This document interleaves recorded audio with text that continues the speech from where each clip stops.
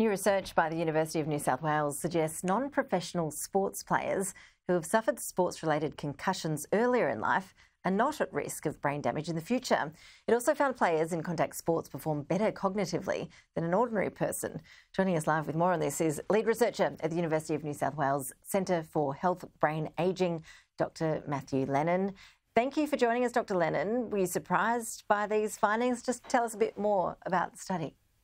Yeah, certainly. So this is the largest study done to date looking at sports-related concussions, and we had over 15,000 people between the ages of 50 and 90, and they're all based in the UK. Whereas most of the research has focused on professional sports people, these were community-dwelling individuals. And essentially what we found is that if you had a sports-related concussion at some point in your life, you actually had better working memory and better verbal reasoning than people who'd never been concussed in the past. And we think that that doesn't relate to the concussion itself, but more from the benefits of being involved in sport at some point in your life. Okay, so what should be the takeout then, particularly for parents who have perhaps mm. been uh, avoiding sending their kids off to play AFL or, or, rugby because of the contact nature of those sports? What do you think mm. they should be taking out of this in terms of a message? Uh, I think probably the first message is that being physically active and socially integrated, which is what so sports do for you, is really good for you.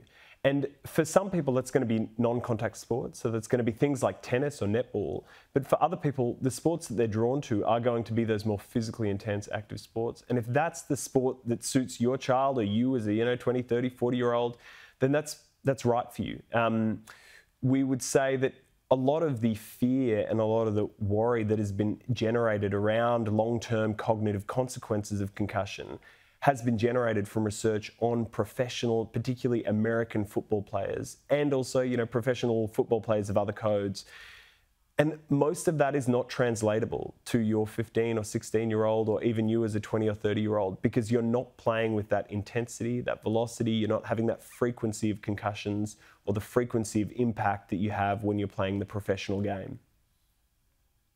So, when we look at frequency for viewers, perhaps thinking back to their days on the field and, and worrying mm. about their own brain health decades on, how many concussions is, is too many? At what point is it worth investigating whether you've got these sorts of problems that we've heard around around around CTE, for example? Yeah, look. So what our current study showed is that even if you had three or more study, three or more um, concussions from sport, you didn't, you weren't at increased risk of cognitive impairment in any domain that we looked at. Um, what our previous research has found is that if you've had three of any kind of concussion, so that could be concussion from sport or from being assaulted, then uh, you were at some increased risk of has, having worse attention and worse working memory. So I think just on a kind of a rational basis, if you're someone who's been concussed four or five times playing sport, it probably is time to think about what you're doing and whether or not you can engage in physical activity in, in a way that's less risky. But if you've had one or two, it's not as concerning, really, um, based on what our, our research has shown today. I know that concussion guidelines in sport have changed a lot in recent years. Mm. Do you think we now have the recommendations right in terms of trying to optimise brain health after a concussion? Being in the, the space that you're in? Do you have any tips for people who are worried about this? Do helmets work? Are there ways that you would suggest it could be made safer? Yeah, so the 2022 International Consensus Guideline from the Concussion in Sport Group is really comprehensive and really quite excellent. And, and they, they basically said in their report that the long term cognitive outcomes of non professional sport, there was very little data out there on it. And the data that was out there didn't find that there were you know, adverse cognitive consequences in the long term. In terms of your other questions about what can be done and what, what is recommended by those expert guidelines, it is limited.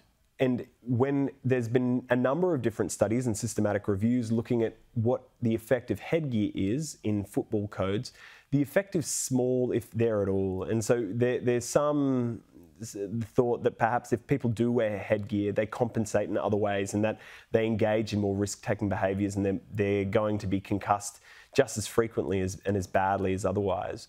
What they did find in those guidelines and in the other systematic reviews is that if you're playing some sports like ice hockey, wearing a mouthguard is actually protective for concussions. So wearing a mouth guard. The, the, other really good intervention that they showed that at the start of training, reduced risk of concussion, is strengthening and training. So people who engage in that strengthening, training, stretching, all those body conditioning exercises seem to have lower risk of concussion throughout the season.